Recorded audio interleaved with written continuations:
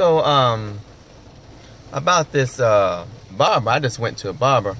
You know, my old barber had some things to do, uh, couldn't make it or whatever, so I had to go and find a new barber.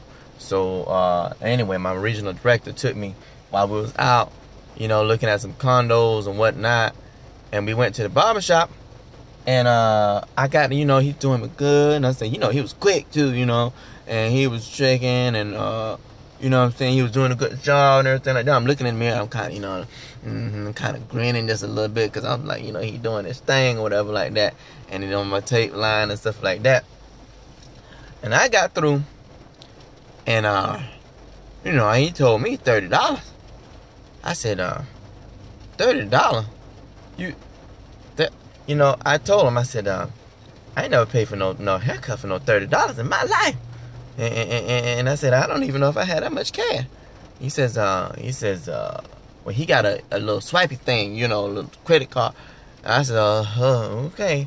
I was like, he, you know, he, you know, I'm looking over at the board, you know, uh, uh, to see because I know I ain't seen no price that said no thirty dollars. You know, he he he uh he says yeah, it's over there, and I still don't see it. But anyhow, then he told me it's a dollar fifty to swipe your thing. I said a dollar fifty.